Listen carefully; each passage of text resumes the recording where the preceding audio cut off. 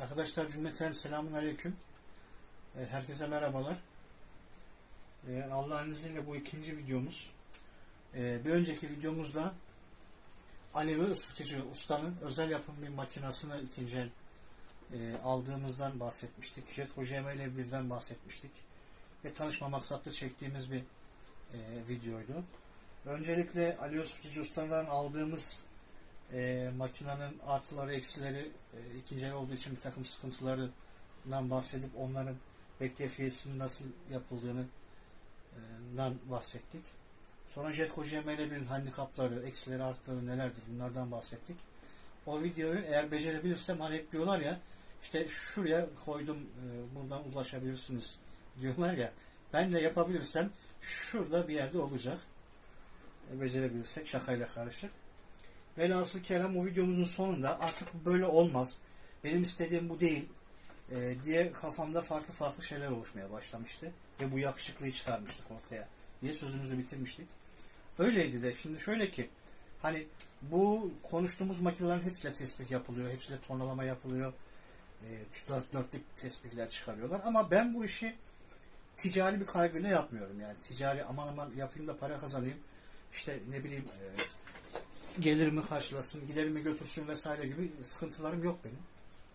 E, tabii ki iyi bir ustada olmak isterim. Neden yani? E, kendi tespihimi kendim yapmayayım diye yola çıktım ama iyi bir tespih ustası olmak isterim. Bu tabi boyacı küpü değil ki dalda çıkar boyasında olasın. E, öyle bir dünya yok. Uğraşacağız. E, velhasıl kelam e, bu makinayı tasarladık biz Kürşat Usta'yla çok fazla fazla detaya girmeden e, devam edelim. Bu bölümümüzde bu makineden bahsedeceğiz. Nasıl oldu, nasıl tasarlandı, e, beni buna sevk eden şeyler nelerdi? Ger gerçi diğer videoda biraz bahsettik. Böyle ben bu işin acemisiyim. İşte e, elime çarpıyor, ayağıma çarpıyor ama ben konfor istiyorum çünkü ticari bir kaygım yok. İyi olsun, düzgün olsun, adam gibi bir tornam olsun ve benim her istediğimi karşılasın gibisinden düşünürken bu cihazı tasarladık. Şimdi bu cihazı e, kameraya yakın alalım. Biraz bahsedelim cihazımızdan. Şöyle yakın plan e, göstermeye çalışacağım arkadaşlar. E, yavaştan başlayalım tanıtımına ürünümüzü, cihazımızı daha doğrusu. Önceki videodan da bahsettik. E, tasarlarken Kürşat Usta'yla Usta'ya meramımı bir bir anlattım ben. Neydi bunlar? İşte bir kere dedim ayna mandren olsun. Aynı mandrenden yapalım biz bunu. Şöyle netlemeye çalışayım. Ve benim elim ayağıma değmesin, çarpmasın, benim canımı acıtmasın dedim. Bunun yanında e, bıçak dayama üst kovanının şuradaki gördüğünüz ayar e, metrajını verdim. Hani parmağımın buraya dolanması işte ne bileyim e, rahat hareket etmesi açısından. Üçüncüsü neydi? Üçüncüsü şuradaki gördüğünüz boşluktu. Şu boşluk. Arkadaşlar bu boşluk benim için önemliydi. Ee, öncelikle 2-3 parmak e, civarında istedim. Çünkü eğer ki bir mandren tasarlayacaksam elimi buradan atabileyim. E, aynanın özür dilerim mandrenin arkasına yetişebileyim. Müdahale edebileyim istedim. E, ve bir de şöyle bir sorun vardı önceki makinamda bu gördüğünüz raylar ya da kızaklar aynanın alt şasesinde saplı durumdaydı. Şu arada. Bunun saplı olması çalışmasına engel değildi tabi yani. Ee, ben her ne kadar acemi olsam da çalışmaya engel değildi. Lakin şöyle bir sorun vardı. Bıçak dayamayı sağ sola hareket ettirip sabitlediğimizde punta da sabitleniyordu. Çünkü şu iki ray zayıf e, ve içeride bolluk olduğundan sıkış, çekip sıkıştırdığında bunun hareket etmesini engelliyordu. Bu büyük bir handikaptı benim için. Bundan dolayı da Kürşat Usta'ya buradaki üç parmak aralığı verdim ve burada bitirmesini istedim. Keza zaten e, bazı makinalarında da böyleydi. Bu zaten çoğu makinesinde de öyleydi. Ama e, aralık biraz daha dardı. Ben genişletmesini istedim. Küçük olsun istedim. Hani kompakt bir cihaz olsun istedim. Çünkü ben E, görüyorum piyasada böyle 60 santim 70 santim özel tornalar var. Arkadaşlar ben bu tornada gemi yapmayacağım sonuçta. E, imame de yapılır. Rahat yapılamayacak ama yapamayacağız bununla. Onu da anlatacağım. E, sonuçta küçük habbeler yapacağım. Onun için ufak olmalıydım. Küçük bir cihaz oldu. E, puntanın düzgün olması gerekiyordu. Puntanın raylarda oynamaması gerekiyordu. Ve bunu zaten e, Kürşat Usta çok güzel yapıyor. Yani e, ben daha hiçbir makinesinin puntasının böyle oynadığını görmedim. Merkezden şaştığını görmedim. Kovan tarafında birkaç değişiklik istedim. Öyle ki e, normalde iki tane saplama ile sabitliyordu o. Ben iki tane saplamayla kovanın sabitlenmesine müteakip bir tane de ayar civatasını koymasını istedim. Yani o civatanın e, içinde bolluk olsun saplandığı yerde ve ben bunu merkezlerken uğraşmayayım. Çünkü punta tarafıyla uğraşmak istemiyorum. E, merkezlemesini o da zaten ustalar da zaten e, genelde e, şöyle arada bir dokunuyorum ekrana çünkü uyuyor makine. Onlar da merkezlemeyi buradan yapıyorlar. Merkezlemeyi buradan yapacağım için bir tane ekstradan ayar vidasını koymasını istedim ben. Çünkü saplamanın dışında bir tane de ayar vidası koydum. Böylelikle o e, saplamaları bolaltıp ayar vidasını bolalttığımda kovanın sağ sol ya da e, incecik böyle folyolarla vesairelerle altına e, bir şeyler koyaraktan yukarı aşağı hareket ettirip puntayı sabitleyebilecektim. Nitekim öyle de oldu. Çok güzel oldu. Sol tarafta bahsetmek istiyorum. Olmazsa olmazımız şunu şöyle biraz alalım. Net görünüyor mu bilmiyorum ama şu kızak şase ile motorun bağlantısı. Bu eğer kovana montelenseydi yine titreşim yapacaktı. Ve Kürşat Usta bütün makinalarında bu şekilde bir aparat kullanıyor. Şu şekilde rahat görünüyor mu? Şöyle yapalım. Şu gördüğümüz parça. Bunu ileri geri hareket ettirip e, kasnağın e, özür dilerim e, kayışın e, gerginliğini de ayarlayabiliyorsunuz. Önemliydi. Bu şekilde şaseye monteledik. Kasnakların çok düzgün olmasını istedim ben. Çünkü herhangi bir ısınma istemiyordum makinede. E, kovana kadar ısınma geliyor normalde. Ve O-ring istedim. Yani O-ring'den yapılsın, piyasada ucuz olsun, bulunsun istedim. Buna göre e, piyasada kayışlar da var ama e, O-ring en güzeli, en sessizi, e, dört dörtlük e, çalışan bir sistem oldu.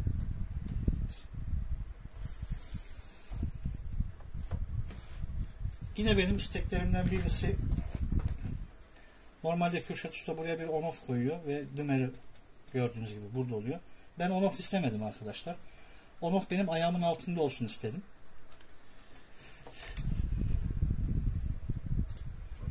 Bir pedal bağladık. On-off'u oradan yaptık.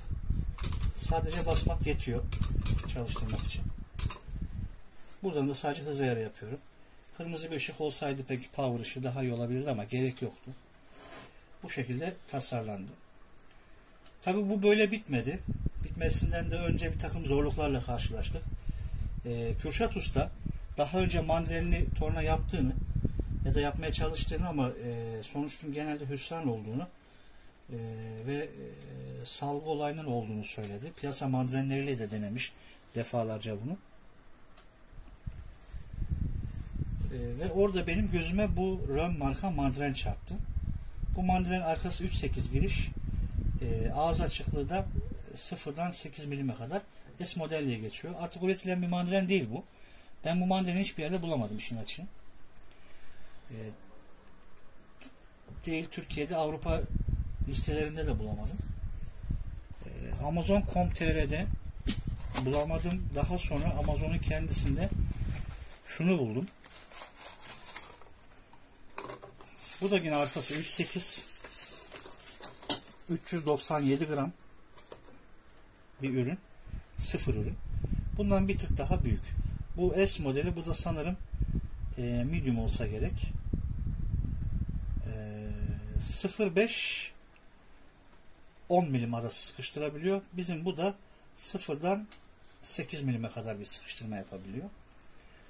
Alternatifim olsun diye bunu da internetten aldım. Stokta iki tane vardı. İki tane ikisini de aldım. Çünkü bir arkadaşım daha istiyordu. Bir dostumuz istiyordu. Böyle bir makine. E, ona da bir tane yapacaktık ve e, onun için e, iki tane söyledim ve stokta kalmadı. Birisi geldi. Gelen bu. Diğeri hala kayıp. Israrla paranızı iade edelim deseler de ben istemiyorum. Çünkü ben e, malzememi istiyorum dedim. Velhasıl kelam makinamız geldi. Puntalamasında hafif bir sorun vardı. Kovanı söktüm ben. Yani orada uğraşmadık düzeltelim diye. Kovanı söktüm. Altında çapaklar vardı. Çapakları temizledim. Küt diye oturdu. Ve merkezledi. Bilmiyorum görebiliyor musunuz? Şu an merkezlemesi tamamen sıkıntısız. Birazdan gerekirse komparatöre de vururuz. Salgısını da görürsünüz. Bu şekilde makinamız geldi.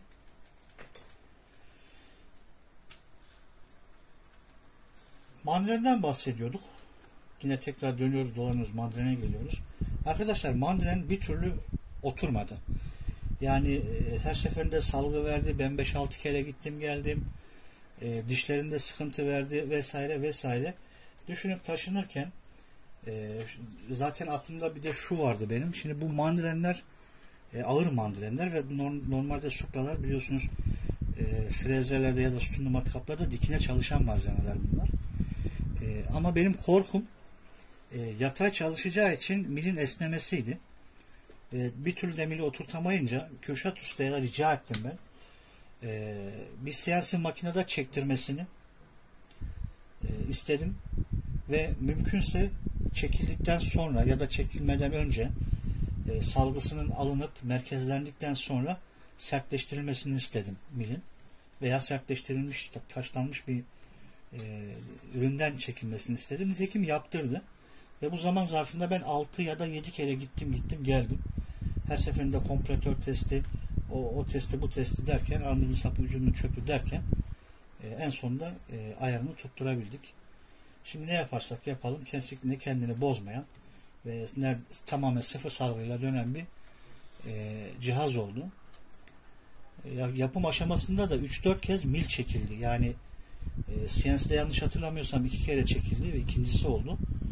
E, üçüncüsü yok sonuncusu tabi yanlış hatırlamıyorsam sonuncusunda e, oldu ve e, öylelikle bitirmiş olduk. Daha da fazla detaya girmek istemedik. Motor zaten kullandığı standart motorlardan birisi. E, sorunsuz bir motor. Bana hızı fazlasıyla yetiyor. At koşturmayacağım ben sonuçta bu makinenin üstünde. Sadece habbe yapacağım. Torku güzel, fena değil. E, yeter. E, işte sert birkaç malzeme denedim ben. Onlarda da sorunsuz. E, çalışıyor. Kızak kovan arasından bahsettik. E, kasnaklardan bahsettik. O-ring'den bahsettik. Velhasıl ben bunu bu şekilde teslim aldıktan sonra eve geldiğimde bir takım zorluklarla karşılaştım. Bunlar nelerdi? Öncelikle arkadaşlar e, habbe çalışırken e, bıçak bıçakla çalışırken şu gördüğünüz e, manevela beni sürekli rahatsız ediyordu. Şöyle. Yine şöyle bir tık yapayım. Şu manevra beni sürekli rahatsız ediyordu. Elime değiyordu, sağıma değiyordu, sola değiyordu. Ben ne yaptım? Bunu buradan söktüm. Şu şekilde söktüm.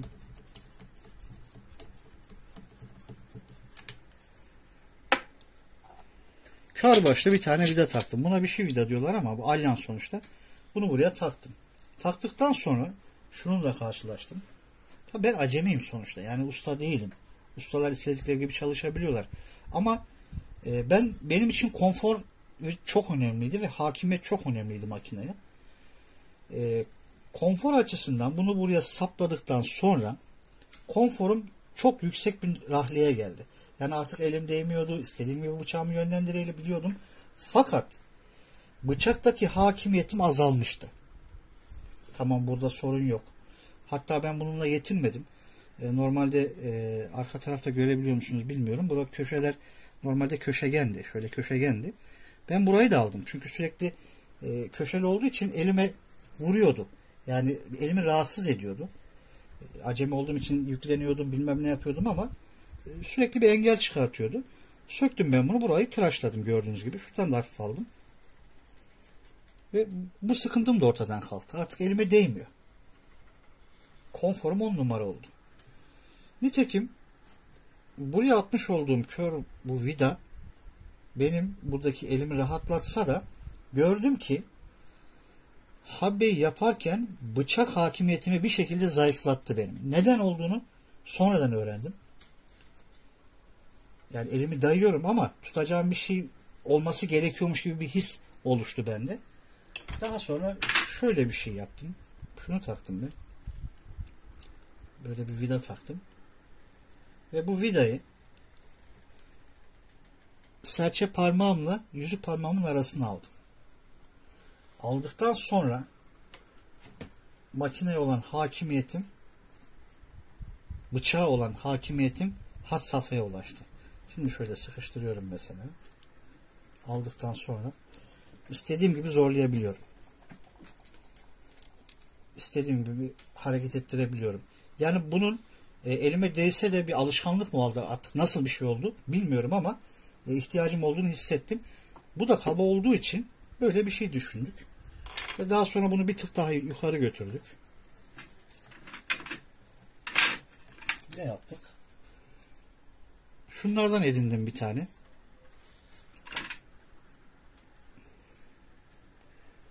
Bunlardan edindim. Bunu taktım. Hatta takmakla kalmadım. Foreman 1835'in üstünde şu etrafın tıraşını aldım. Şöyle bir silindirik yaptım. Yerine oturtturdum. Ve şimdi benim için on numara. Şimdi arkadaşlar biz bunları yazıyoruz, çiziyoruz, söylüyoruz ama bu tamamen size kalmış. Yani siz kendi konforunuza göre hareket edeceksiniz. Ben bu şekilde konforlu çalışıyorum. Hatta Ekrem Usta'yla bugün e, bir telefon görüşmesi yaptık WhatsApp'tan. Ona ben bir video gönderdim. Bana bir tavsiyede bulundu. Eksik olmasın.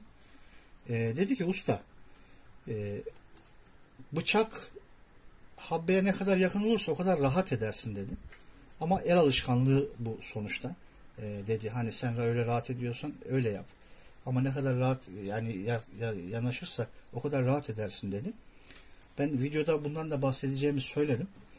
E, şu konfordan sonra ve bıçak hakimiyetinden sonra benim önde çalışma gibi bir kaygım kalmadı.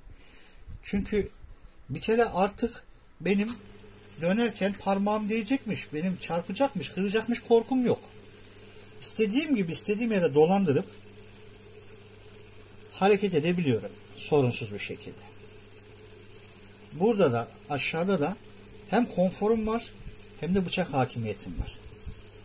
Tabi onun dediğinde o usta sonuçta denedim ben birkaç denedim. E, o zaman şu bana mani oldu biraz daha yanaştığım zaman. Yani bıçağın gerisinde e, olması e, avantaj olur. Şöyle dayayaraktan e, yaparsan e, daha rahat edersin dedi ama tabi el alışmış bir kere artık. Her ne kadar acemi de olsak, yeni de olsak el alışmış. E, bu konfordan bir türlü vazgeçemiyorum. E, sanırım geçemem de. Ama zaman ne gösterir bilinmez. Yine bunun yanında e, bıçağın yükseklik ayarını yaparken şu cihazı kullanıyoruz. Böyle bir manevra da burada vardı. Bu sürekli beni sinir ediyordu. Bu takılıyordu. Bunu da söktüm ben. Piyasadan şöyle bir kol elde edindim. Bu her yerde satılıyor. Tam ayar noktasını buldum. Şu an gördüğünüz gibi oynamıyor. Ama şöyle hafiften sağ yapıyorum. Geri çekiyorum ve kilitliyorum. Bu kadar basit. Yani konfor önemliydi benim için. Konfor için bunları yaptım. Bıçak tarafında aslında eklemek istediğim çok bir şey yok.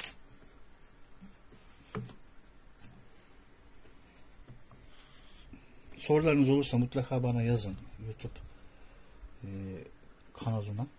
Oradan da cevaplamaya çalışayım. Çok basit bir şekilde kilitliyorum. Geri alıyorum. istediğim gibi oynatabiliyorum. Ve habbe yaparken kesinlikle kesinlikle artık elime çarpacak vesaire korkusu yok. Ha zor bir işlemdi. Ee, uğraştırdı. Tabi bu arada neyi çekiyoruz? Şöyle yapalım. Oraya gerekirse keseriz yine. Artık benim habba yaparken dediğim gibi parmağıma çarpacak korkum yok. Elime yapışacak, kıracak korkum yok. İstediğim gibi oynatıyorum, kilitliyorum. Bıçak hakimiyetim 10 numara. Hemen bir habbe takalım şöyle. Allah bunların hangisi nasıl derdim bilmiyorum ama.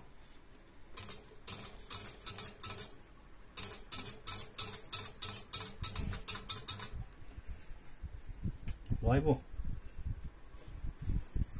Şurada yine ustamın dediği gibi açtım. 10 numara oldu. Gibi. Yani her şeyi yapabiliyorum. Her halükarda girebiliyorum. Artık beni engelleyen hiçbir şey yok. Burada yok. Burada yok. En önemlisi burası işte. İstediğimi yapabiliyorum. Bu şekilde çok güzel oldu. Gördüğünüz özür dilerim. Karşı tarafın e, mandreni e, piyasa mandreni. Bu Sanoğlu mu? Harvest miydi? Öyle bir şeydi. E, 40 liralık 50 liralık bir mandren. Sorunsuz oldu. İsteyen arkadaşlarımız oldu. E, baktım makine randımanlı çalışıyor. Sorunsuz çalışıyor. Ustadan rica ettim. Ustacım dedim e, makineye göz değecek bir şey olacak. Ben makinesiz kalacağım. E, senden bir tane daha istiyorum dedim. E, dün değil evvelsi gündü. E, şöyle yapalım. Bir tane daha yaptık. Şöyle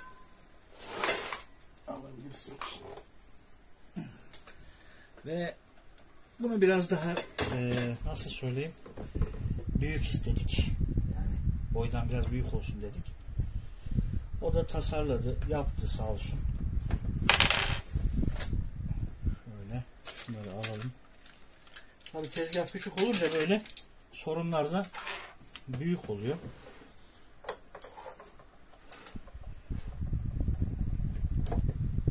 Bu da böyle bir makine oldu. Tabi ben önceki dönemde e, işte ustam bu böyledir, şu şöyledir, armudun sapı üzümün e, çöpü dediğim için e, usta da beni anladığı için gördüğünüz gibi buraları köşeli yapmış sağ olsun eksik olmasın. E, yine sorunsuz bir e, punta var. Dört dörtlük çalışıyor. Hiç sapma yok. Mandren aynı mandren. E, bende kullanılan mandrenle aynı. Usta onu da bulmuş yine nereden bulduysa. Onu da yapmış. E, muhtemelen e, ben şunu takacağım buna ya da bir yeni ya isteyen olursa tasarlayan olursa tasarlarsak bunu kullanacağız. Mantık yine aynı mantık. Buna bir de e, on off koyduk. E, ayar düğmesi vesaire. Bir de CNC'den mi çekildi bilmiyorum ama milini e, testlerimde ufak tefek sorunlar çıkıyor. Tabi bunlar e, tolere edilebilir sorunlar. Bunlar sorun değil sonuçta. E, makine dört dörtlük çalışıyor. Yapısı falan on numara oldu. Mesela ben şuradaki e, ölçüyü kendime göre istemiştim. E, o standart yaptı. Biraz büyük olsun dedik. 10 numara oldu. Yani hiçbir sorun yok. E, ikisi de 3.8 bunların. İsteyen olursa arkadaşlar bana ulaşabilirsiniz. Veya e, köşe üstüye ulaşabilirsiniz. E, tasarım ona ait. Şuraları da köşelemiş gördüğünüz gibi. Velhasıl kelam böyle 10 numara bir makine oldu. Ben çok memnunum makinamdan. E, ciddi anlamda çok memnunum. Ben birçok makine gördüm. Bakın şu anda kapımın önünde benim iki tane Proxon var kutusu açılmamış. İnanın e, onlarda bu konfor yok. Şimdi ben kamerayı tekrar şöyle e, yukarıya alayım. Evet arkadaşlar. e, gözümün nuru özel üretim özel tasarım makinamızdan da bahsettik. Tanıtımını yaptık. Takıldığınız bir yer varsa, sormak istediğiniz bir şey varsa mutlaka sorun. E, yapan Kürşat Usta, on numara bir usta. E, benim her istediğime katlandı. Her istediğimi yaptı. Bu da onun abisi. Bunu yine ikinci bir ton olarak yaptırdım ben. Ee, bakalım zaman ne gösterir. Bundan sonraki projemiz farklı bir proje. Kendisiyle alakalı bir projemiz var. Bugün yarın devreye alacağız onu. Bakalım nasıl olacak. Hatta bugün e, Ekrem Usta, Ekrem Güney Ustam e, bugün müydü, dün müydü görüştüğümüzde bir fikir verdi. Hani bu kadar elzem şeylere girmene gerek yok deyip bana bir çözüm sundu. Sonuçta usta o da. E, dört dörtlük bir usta. E, hocam diyorum bana, ustam diyorum. E, Cebrail Usta'yla böyle bir Jetco JML bir üstünde e, böyle hani mandren nasıl yaparız hem ayna hem mandren nasıl olur ya da mandreni e, değil de pensle nasıl yaparız e, çalışmalarımız vardı. Hatta bir iki CNC'ci ile görüştüm ben. Ama e, ustam bir fikir verdi Ekrem ustam. E, onu deneyeceğiz. Şimdi ben onu Kürşat abiyle konuşacağım. Bakalım nasıl olacak. E, onu da bir yapalım. Bir projemiz bir ayaklansın. E, sürpriz olsun. Hem aynalı e, hem mandrenli ya da CNC e, pens takımlı bir ürün nasıl oluyor ona bakacağız. Kısaca arkadaşlar videoyu bitirmeden önce e, artı ve eksilerinden bir kez daha üstünden geçmek istiyorum makinelerin. Şimdi artısını zaten anlattık. Yani e, o su var, bu su var, konforu var vesairesi var. Hiçbir eksiği yok. Proxonlardan diğer özel yapımlardan hiçbir eksiği yok. Hatta ve hatta fazlası var. Bir kez daha söylüyorum arkadaşlar. Bakın bu sizin kendi konforunuz. Bu işin Mercedes'i üstüne basarak söylüyorum. Kendinize göre yaptırdığınız özel tornalardır. Ben özel tornayı kullandıktan sonra Ali Özfürici'nin tornasını kullandıktan sonra ne Proxon kullanabildim ne JML1 kullanabildim. JML'yi kullanıyorum. imame yapmak için kullanıyorum. İşte benim en büyük handikapım bu. Neymiş bunun handikapı? Bunda imame yapamazsınız. Bu tamamen e, habbe yapımına yönelik 0.8 ya da 0.10 e, milime kadar e, malzeme işleyebileceğiniz bir cihaz. E, çok yüksek e, aralığa zaten ihtiyacımız yok. Hem imam olsun hem e, habbe olsun tasarlarken e, bir işte bağlamayacağız diyorum ya gemi yapmayacağız sonuçta biz bu makinede. E, sadece habbe yapacağız. İmamin de ilk etapta yani belki e, alt tarafını yuvarlamanın dışında e, burada yapabiliyorum sonuçta. Yani imame için imame altlıklarını bağlayıp imameyi de yapabiliyorum. Hem de sorunsuz ve çok güzel oluyor. Yani imame şimdi e, imamenin bir kere salgısız dönmesi gerekiyor. E, merkezlemesinin çok güzel olması gerekiyor. Ve ben onu bu cihazda yakalıyorum. Yalnız e, işte diğer ustalarımız, duayen ustalarımız e, aynaya sıkıştırıyorlar. Önce arkasını yapıyorlar, sonra çeviriyorlar vesaire. Deliyorlar, meliyorlar. Ben farklı çalışıyorum. Yani bu size bağlı, sizin konforunuza bağlı. Benim en büyük handikapım ki benim için handikap değil, hiç umurumda bile değil.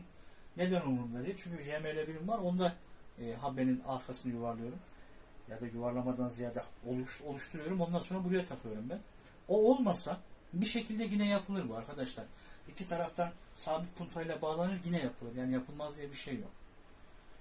Ee, benim için dezavantaj değil ama sizin için olabilir. Böyle bir sorununuz olur eğer ki mandren kullanırsanız. Mandren kullanılan mandren daha büyük olabilir. Yani e, 1.13, 1.16 olabilir. O zaman onları da kullanabilirsiniz. Ne olur? E, şöyle ki rulmanınız biraz büyür. Mil biraz daha genişler. Ona göre de uca çıkar. Hepsi bu.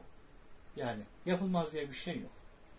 Diğer projemizde bir harekete geçirelim bakalım ne olacak ne bitecek. Onu da inşallah beraber e, göreceğiz bakacağız. Bundan sonraki videomuzda Allah nasip ederse ben mil sorunlarına değinmek istiyorum. E, çünkü her mil her makinede farklı farklı e, sıkıntılar çıkartıyor. Bunlar nasıl bertaraf ederiz? E, ben kendi artık e, bozdök bozdök e, bir takım tecrübeler edindim. Bunları da sizlerle paylaşmak istiyorum ben. Özellikle mandrenli e, makinalarda bunu çok sık yaşıyoruz. E, çok da basit bir yolu var. Aynı şekilde aynalarda da yaşıyoruz bunu. Nedenlerini anlatacağım. Habbe yani bir başka makinede düzgün çalışan habbemini neden bir diğer makinede e, düzgün çalışmaz ya da e, salgı çıkarır bunlardan bahsetmek istiyorum. Bunun yanında da e, sürpriz bir konu daha var. Eğer yetişirse o, o videoya bakalım onu da ele alacağım. Sözlerime burada son verirken e, hepiniz Allah'a emanet olun diyorum. E, çok teşekkür ediyorum. E, görüşmek üzere inşallah. Allah e, gönlünüze göre versin. Dediğim gibi arayabilirsiniz, ulaşabilirsiniz. Yani mesaj atabilirsiniz. Instagram'dan, Ankara Tespih Store'dan, Facebook'tan Mehmet Halil ve Ankara Tespih Store olarak oralara da sorabilirsiniz. Keza belki e, bunu görsele atarız. Orada da görürsünüz, incelersiniz detaylı fotoğraflarını. Sorun olursa ben buradayım. Ustayla da istediğiniz gibi irtibata geçebilirsiniz Kürşat Ustayla. Sağ olsun her kahrımızı çekti. Hepiniz Allah'a emanet olun. Sevgiler, saygılar, hürmetler.